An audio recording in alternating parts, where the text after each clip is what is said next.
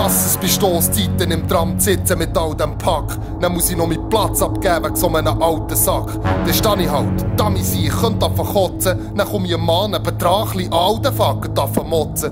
Die Leute sind im Glotzen, wo ich in die Zeitung ins Maul stopfe. Gleichzeitig meine Faust stoppen, weil jetzt die Zeitung aussieht wie ein Shoppen.